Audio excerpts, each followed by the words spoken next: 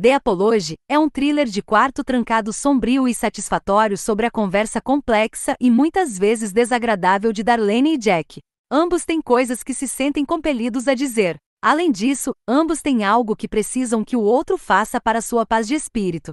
19 anos se passaram desde que Darlene e Jack se falaram pela última vez, muito tempo para viver com medo e miséria, mas talvez não o suficiente para conferir sabedoria ou perspectiva. Darlene não está esperando nenhum visitante, especialmente Jack Linus Roache, seu ex-cunhado que chega sem avisar e sem ser convidado. Quando eles se atualizam, percebemos que Jack era algo mais do que o ex-marido de sua irmã. Ele veio se desculpar. Mas para quê? Tarde demais, Darlene percebe que sua linha telefônica foi cortada. À medida que a tempestade lá fora aumenta, uma batalha de inteligência aumenta de maneiras inesperadas.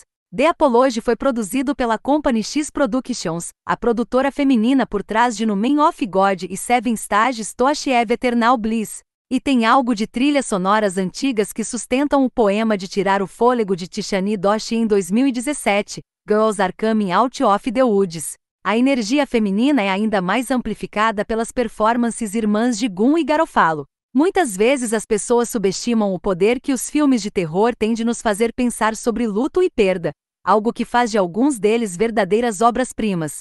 Com a situação de Darlene não é muito diferente, mas embora seja bem fácil se relacionar com ela. Parece que The Apology não está interessada em passar um tempo com a personagem e realmente nos deixar entrar no lugar dela. Dos 90 minutos de duração da história, passamos apenas três para conhecer a personagem principal e ver como é o dia dela. Considerando como os eventos se desenrolam, não dedicar tempo para detalhar o estado emocional de Darlene é quase criminoso. Ana Gun é Darlene, uma mulher solteira e alcoólatra em recuperação que se prepara para receber um Natal em família em sua casa pela primeira vez em 20 anos. Já faz tanto tempo porque também se passaram 20 anos desde que sua filha desapareceu, e Darlene passou as décadas seguintes limpando seu próprio ato e trabalhando incansavelmente para tentar encontrar sua filha e defender as famílias de outras crianças desaparecidas.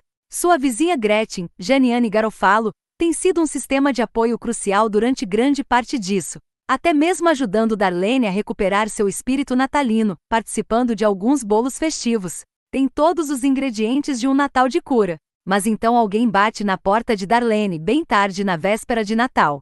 Jack Linus Roache, ex-marido de sua irmã, apareceu para uma visita surpresa de férias, presumivelmente para conversar com seus filhos e fazer as pazes com sua ex-mulher. Mas à medida que o alegre reencontro avança, Darlene descobre que Jack não está na cidade apenas para o Natal. Ele tem um segredo, algo que guarda há duas décadas, desde o desaparecimento da filha de Darlene. Há interrupções ocasionais na conversa, principalmente da melhor amiga de Darlene, Gretchen, Janiane Garofalo, que mora a algumas centenas de metros de distância. Mas The Apology é essencialmente um jogo de duas mãos em um momento presente escuro e aparentemente interminável. O que começa como uma conversa cordial, embora levemente embriagada, inevitavelmente se torna um confronto vago e perturbador. As necessidades de Jack aparecem em seus rostos, já que ele não consegue parar de se expressar. Mas está é a casa de Darlene e ela não é uma vítima passiva.